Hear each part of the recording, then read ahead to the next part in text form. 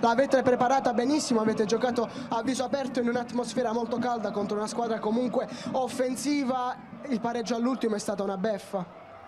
Per come si è svolta la partita senza ombra di dubbio, uh, abbiamo fatto i primi 24-25 minuti dove abbiamo dominato l'incontro, non costruendo tantissimo. Ah, il gol è stato il giusto coronamento di una squadra che è venuta qui a viso aperto. Dopodiché è cambiata l'inerzia della partita, eh, il Cerignola l'ha fatta, eh, noi dopo 10 minuti del secondo tempo ci siamo sistemati eh, in modo difensivo molto, in modo molto attento, non abbiamo rischiato quasi nulla se non qualche cross che veniva dalla corsia di destra, purtroppo allo scadere in pieno recupero abbiamo preso il gol che sa di beffa però il punto per noi è un punto importante eh, potevano essere tre e continueremo a lavorare a migliorarci perché questa squadra per quello che dimostra in campo per anche l'abnegazione che ci sta mettendo merita alta classifica